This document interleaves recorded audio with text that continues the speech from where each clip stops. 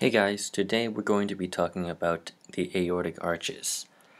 And these are uh, embryological arteries that occur in the head and neck region during the development of the heart and the arteries. So just to orient ourselves a little here, the heart is here uh, in the middle of this uh, heart-shaped region. The head is towards the top and since we are looking at an anatomical view of the body, the right side of the screen is the left side of the body, and the left side of the screen is the right side of the body. So there are six aortic arches that connect a ventral aorta and a dorsal aorta.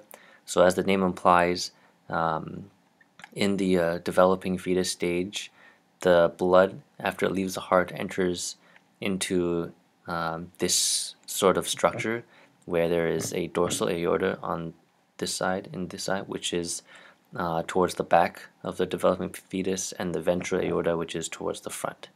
Now, these six uh, aortic arches, one, two, three, four, five, six, connect the ventral and dorsal aorta, and they give rise to a number of important arteries that occur in the head and neck region. So the first two are uh, first two aortic arches, they disappear, but they uh, give rise to some um, other arteries. The first arch forms the maxillary artery, although the arch itself disappears.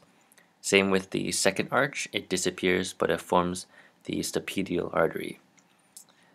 And the third arch here, it forms the carotid arteries in the neck region, uh, both the internal carotid and the external carotid artery.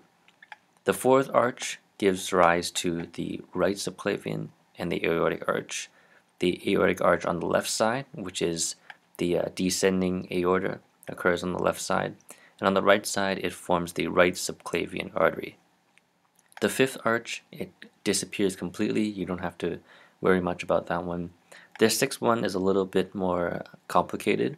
So proximally, which means uh, closer to the origin of the aortic arch, it forms the pulmonary arteries so both the right and the left pulmonary arteries, while distally further away from the origin of the sixth aortic arch.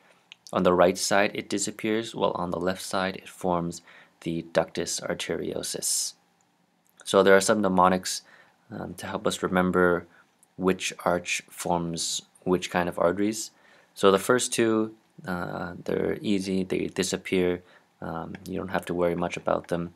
The third arch forms the carotid arteries. So if you remember C is the third letter of the alphabet, ABC, you can remember that the carotid is from the third arch. So for the fourth arch, um, it forms the aortic arch on the left and the right subclavian on the right side. So if you think of four and aortic arch, you can remember that the aortic arch comes from the left side of the fourth aortic arch.